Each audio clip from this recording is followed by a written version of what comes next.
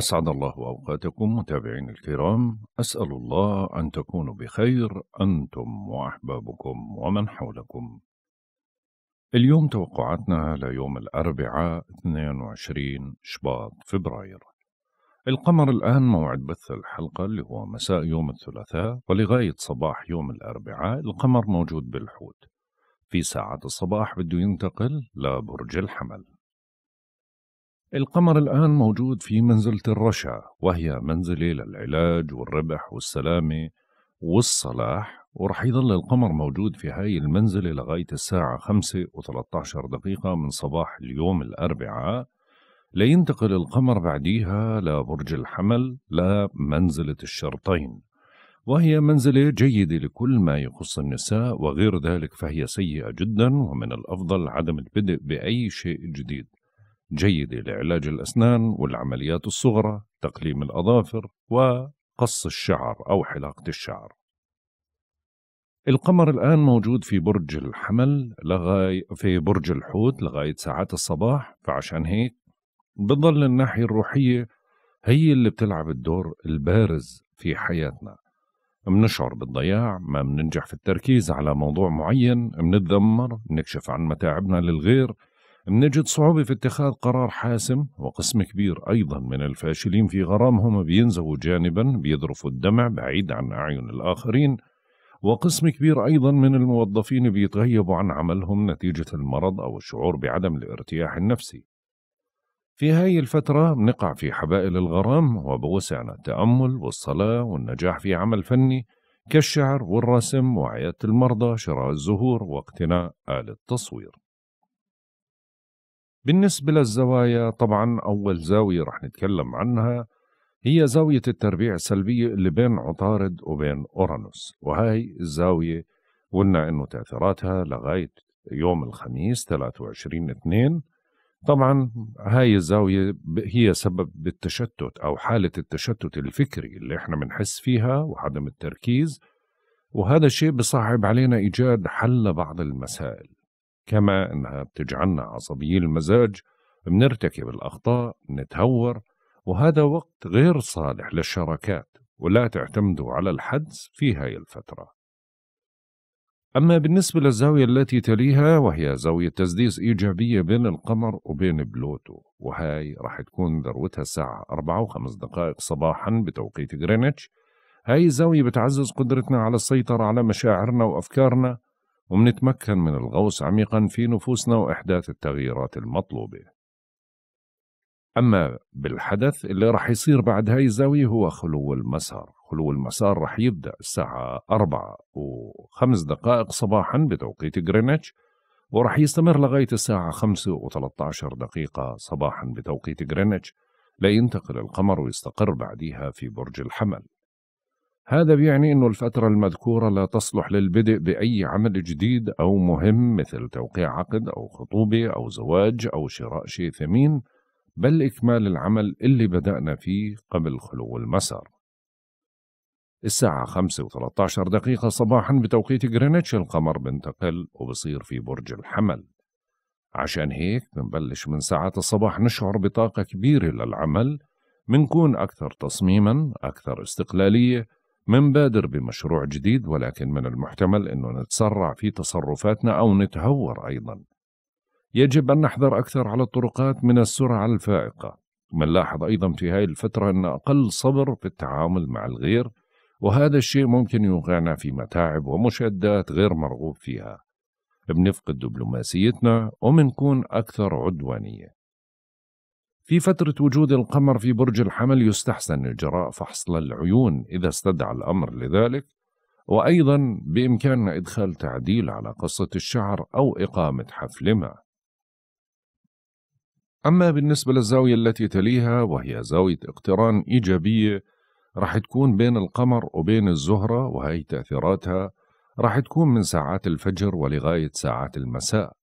هي بين القمر والزهرة اقتران إيجابي ذروتها الساعة 9 و25 دقيقة صباحا بتوقيت غرينتش بتأجج العاطفة تجاه الجنس الآخر وبالتالي بننجح بتعزيز العلاقة معهم وبيعطي دفعة للعاملين في المجال الفني والتجميلي والديكور فبيتحسن عطاهم وإبداعهم.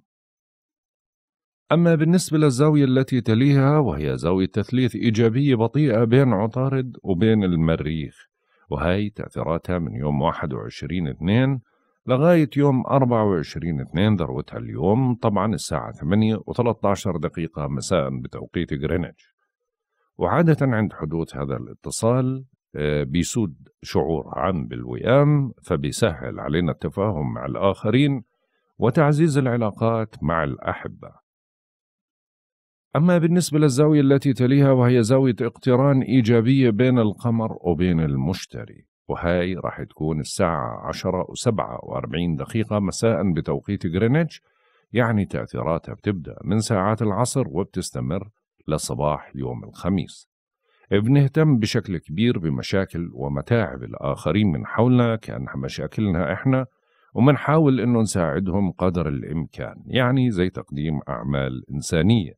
وبتلوح الفرصة للتحصيل على مكسب مالي وبتساعدنا في تعزيز الروابط العائلية.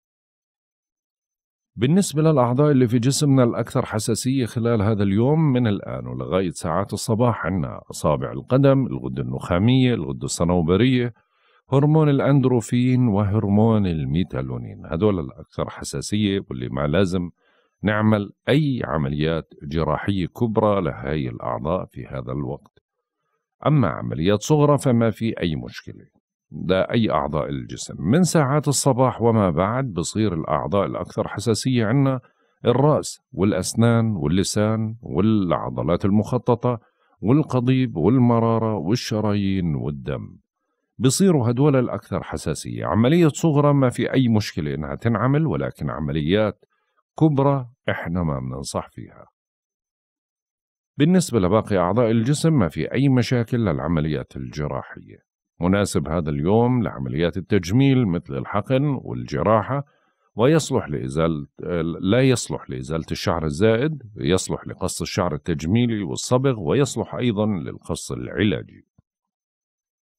بما أنه القمر رح ينتقل لبرج الحمل معناته خلو المسار القادم رح يكون يوم الجمعة 24 2 بيبدأ طبعا خلو المسار الساعة 7 و21 دقيقة صباحا بتوقيت غرينتش وبيستمر لغاية الساعة 8 و28 دقيقة صباحا بتوقيت غرينتش.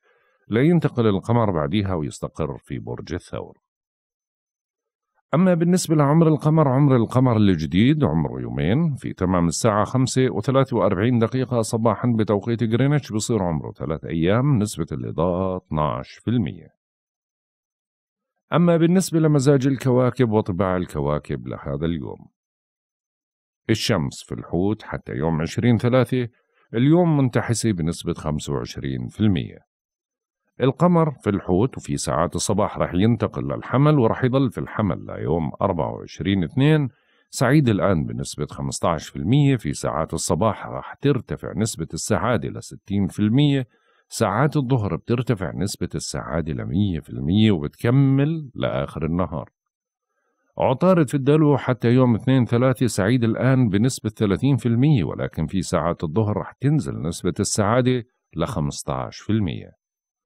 الزهرة في الحمل حتى يوم 16 ثلاثة سعيد بنسبة 15% المريخ في الجوزاء حتى يوم 25 ثلاثة منتحس بنسبة 10% المشتري في الحمل حتى يوم 16 5 سعيد بنسبة 15% زحل في الدلو حتى يوم 7 3 سعيد بنسبة 15% أورانوس في الثور حتى يوم 29 8 سعيد بنسبة 15% نبتون في الحوت حتى يوم 30 6 سعيد بنسبة 15% وبلوتو في الجدي حتى يوم 23 3 سعيد بنسبة 15% وصلنا للتوقعات اليومية. برج الحمل. بالنسبة لمواليد برج الحمل طبعا من الآن ولغاية ساعات الصباح بيظل التعب مسيطر عليكم لأنه القمر ما زال موجود في بيت المتاعب اللي هو برج الحوت لغاية ساعات الصباح. فعشان هيك بدكم تضبطوا أعصابكم ما تتخذوا أي قرارات حاسمة في خلال هاي الساعات. من ساعات الصباح بتبدأوا فترة أفضل بتعيد لكم نشاطكم المفقود وشخصيتكم ونفسيتكم وطاقتكم اليوم رح تكون مميزة. يا إما عاطفيا رح تكون جياشة جدا يا إما حتى على مستوى الأصدقاء والعائلة والمعارف رح تكون قوية جدا. اليوم برضو في حل بعض المسائل العالقة وممكن يكون في اتصال أو معلومة رح توصلك. حاول إنك تتعامل معها بمزاج هادئ وابعد عن العصبية وحاول إنه يعني ما تكون حاد بكلامك خصوصا أثناء التعامل مع الغير. برج الثور بالنسبة لمواليد برج الثور طبعا القمر الآن بيقترب من بيت المتاعب صحيح أنه ما زال الجو بيدعو للنشاط والحيوية والعلاقات الاجتماعية والتعامل مع الأصدقاء والاتصالات والحوارات والنقاشات وهي أجواء داعمة لك إلا أنه بلحظات معينة ممكن تحتد أو ما يصير عندك مزاج آه، حتى. للاختلاط بالمجتمع هيك بتحس طاقتك نزلت. مرة واحدة كل ما اقتربنا لساعات الصباح لأنه القمر بيقترب من بيت المتاعب. في ساعات الصباح رح تدخلوا فترة غير مريحة. بتلزمكم بالانتباه أكثر لمدة يومين قادمات فبدكم تحذروا من الدخول في مناقشات أو جدال مع الأصدقاء لأنها ممكن تتطور للأسوأ. برج الجوزاء من الآن ولغاية ساعات الصباح بضل التركيز كله على مجال العمل.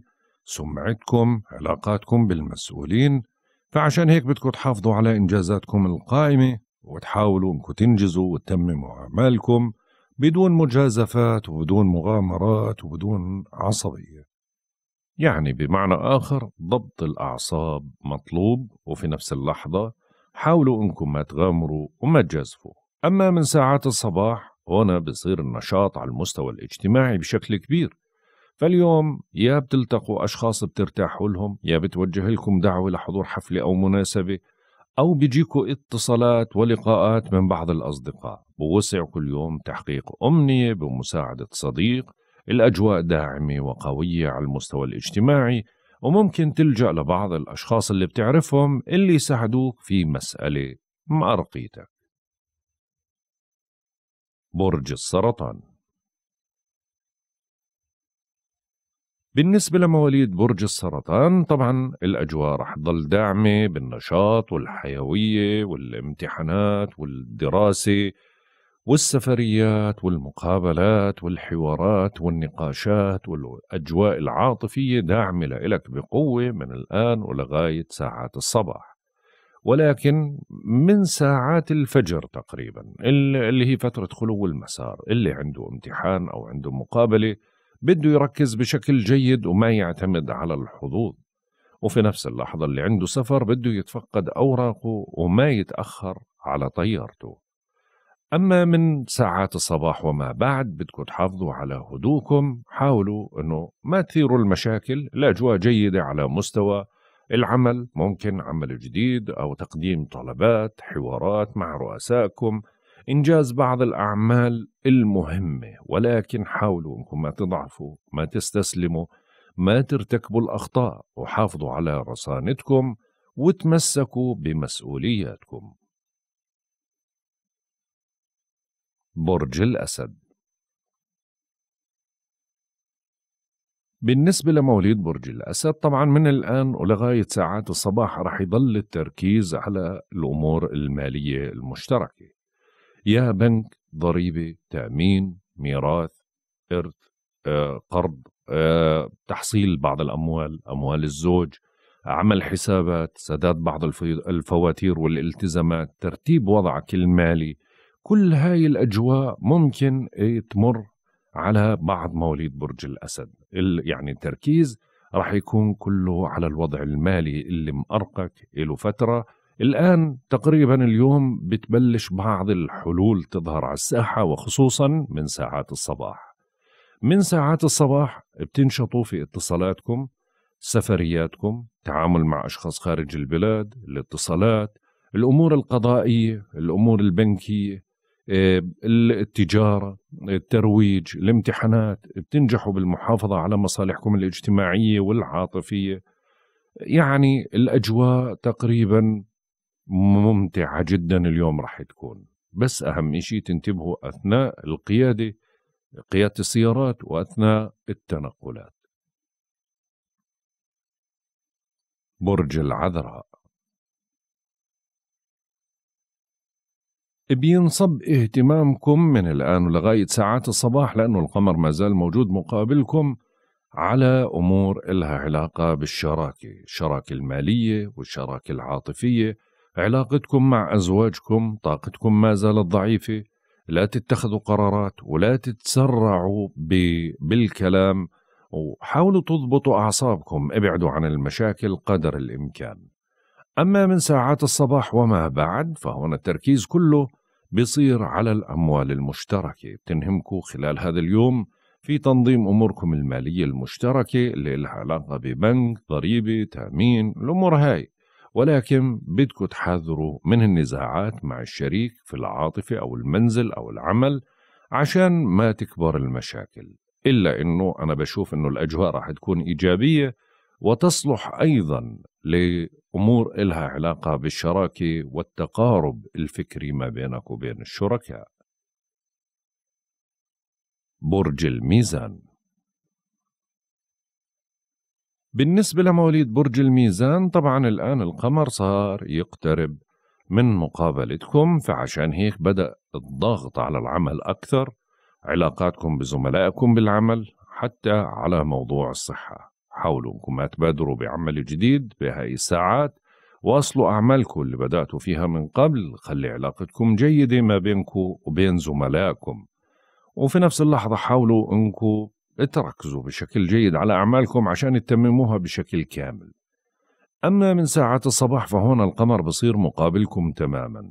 بترغبوا في تعزيز شراكاتكم ولكن بدكم تنتبهوا. من الحدية بالطباع أو سوء تفاهم ما بينك وبين زوجتك أو ما بينك وبين شريكك بالعمل حاولوا تكونوا مرنين بالتعامل وفي نفس اللحظة حاولوا إنكم تنتبهوا من ردات فعلكم وعصبيتكم لأنه في أشياء ممكن تستفزك بتتطلب منك إنك تضبط أعصابك. برج العقرب بالنسبة لمواليد برج العقرب طبعا بتظل العاطفة قوية عندكم بشكل كبير بتميلوا للتقارب من أحبائكم للتجاوب معهم للمصالحة للقاء يعني حتى الفرح حتى الأجواء الجميلة اليوم ممتازة من الآن ولغاية ساعات الصباح وممكن تهتم بهندامك أو مظهرك أو لباسك أو أشياء من هذا القبيل. الأجواء جيدة حتى على مستوى الترفيه وتغيير الجو.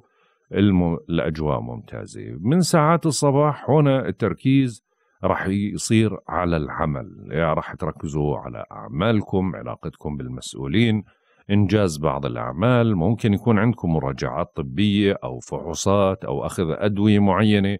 أهم شيء إنك أنت ما ترهق نفسك زيادة. ركز بشكل جيد. ما تحاول إنك تشتغل أكثر من عمل في نفس الوقت. ركز على العمل الأساسي والمهم انجزه بعدين انتقل للي بعده. صحيا ما في إشي بخوف ولكن ممكن هيك بدك اهتمام صحي شوي. برج القوس. بالنسبة لمواليد برج القوس طبعا القمر ما زال موجود في بيت البيت بيت العائلة. فعشان هيك التركيز من الآن ولغاية ساعات الصباح رح يكون على العائلة وعلى البيت على تصليحات ترميمات مشتريات مناسبات لقاءات اجتماعية عائلية أو حدث معين. جيدة هاي الفترة لاستئجار بيت من الآن ولغاية ساعات الصباح ولكن مش في فترة خلو المسار. جيدة تجارة أو بيع عقار ما أو أمور لها علاقة بمشتريات لأثاث البيت ولكن برضو مش في فترة خلو المسار. أما في فترة خلو المسار أما بعد خلو المسار والانتقال القمر للحمل فهو بيت قوي جدا بالنسبة لك وبتزداد رغبتكم اليوم في التقرب والتفاهم مع أحبائكم. اليوم الأجواء تحتاج شوية ترفيه خروج تغيير حتى شخصيتك ونفسيتك رح تكون مميزة.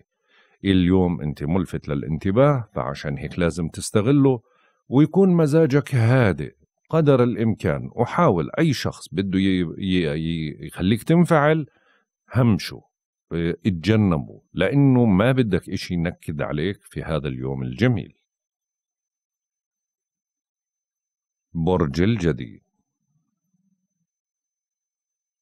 بالنسبة لمواليد برج الجدي طبعا اللي آه، عنده امتحان أو عنده مقابلة من الآن ولغاية ساعات الصباح الأجواء بتدعمه. ولكن أنا بنصح أنه ما يعتمدوا كثير على الحظوظ فترة ممتازة بالاتصالات والحوارات والنقاشات وسرعة بديهتك بتنقذك وعندك قدرة على إتمام أي أمر ولكن ممكن تهرب منك المعلومة. فعشان هيك بدك تركز بشكل جيد حاول إنك ما تعتمد على الحظ نهائيا. ممكن تهتم بسيارتك أو تهتم بتليفونك أو بأجهزة إلكترونية. ممكن يكون لك حوار أو نقاش ما بينك وبين أحد الإخوة أو أحد الجيران. الأجواء ممتازة لغاية ساعات الصباح لأنه القمر في بيت حليف لإلك. أما من ساعات الصباح وما بعد هون التركيز رح يصير له علاقة بالبيت والعائلة. فخلال هذا اليوم بتفضلوا التركيز على الأجواء البيتية والعائلية حل بعض المسائل العالقة اللي إلها علاقة بالبيت والعائلة إيه، ممكن تصليحات ترميمات مشتريات واجبات التزامات أشياء من هذا القبيل. ولكن بدكم تحاولوا إنكم تكونوا مش عدوانيين في هذه الفترة لأنه شوي مزاجك ممكن يسبب يعني يتسبب لك بسببه خلاف أو سوء تفاهم. يعني بدك تركز بشكل جيد بدون عصبية. برج الدلو بالنسبة لمواليد برج الدلو طبعا من الآن ولغاية ساعات الصباح بدكم تركزوا على الأمور المالية. ما زالت الأجواء جيدة وممكن تحصلوا على بعض المكاسب اللي بتيجي من عمل إضافي أو مستردات هبات أو نوع من أنواع الدعم. وفي فرص جيدة للتحصيل على بعض المكاسب المالية أو على هدية أقل تقدير. أما من ساعات الصباح يعني عند الفجر حاولوا أنكم تتجنبوا شراء أي حاجية ثمينة وخففوا من النفقات اللي هي فترة خلو المسار. أما من ساعات الصباح الأجواء بتصير داعمة بقوة. لأنه اليوم راح تكثر عندك الاتصالات بشكل كبير والتنقلات والحوارات والنقاشات. وممكن اليوم يكون عندك ترويج لشيء معين أو حتى بتحاول تقنع أشخاص بشيء معين. اليوم عندك القدرة على الإقناع والحوار والنقاش. الأجواء ممتازة جدا وهذا الشيء رح يحقق لك كثير من الأمور. ممكن تركزوا على أمور إلها علاقة بالاتصالات أو المواصلات يعني أجهزة إلكترونية أو سيارات. برج الحوت. بالنسبة لمواليد برج الحوت طبعا الأجواء ممتازة جدا من الآن ولغاية ساعات الصباح القمر موجود عندكم النشاط والحيوية والطاقة الإيجابية وراحة النفس آه، ممتازة جدا. آه، عندكم هدوء أو سلام داخلي أو بتفكروا في بعض التغييرات اللي لها علاقة بالمظهر أو باللباس بالهندام أو حتى بتغيير الجو. عاطفيا أيضا الأجواء ممتازة جدا خلال هذا اليوم. من ساعات الصباح القمر رح ينتقل لبيت المال فهون التركيز رح يصير على تحصيل بعض المكاسب المالية اللي بتيجي من عمل إضافي أو مستردات هبات أو دعم ولكن بدكم تقللوا من مصاريفكم قدر الإمكان. ممكن اليوم تحصلوا على هدية أو يعني دعم نفسي. اليوم الأجواء ممتازة فلازم تستغلها بكل طاقتك. من الآن ولغاية ساعات مساء يوم الأربعاء. هيك بنكون انتهينا من توقعاتنا لهذا اليوم. والله أعلم. يا رضا الله ورضا الوالدين. سبحانك اللهم وبحمدك. أشهد أن لا إله إلا أنت. أستغفرك وأتوب إليك. أترككم في رعاية الله وحفظه. إلى اللقاء.